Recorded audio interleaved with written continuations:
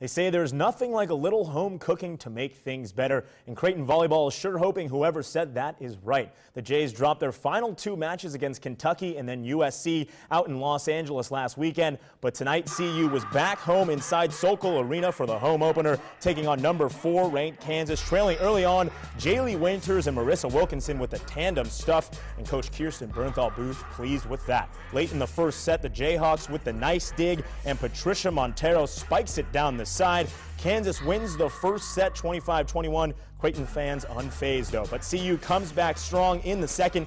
Jaali Winters, the huge swing and spike. She led the Jays with 21 kills, but Kansas wins a close one, 3 to 2 in five sets.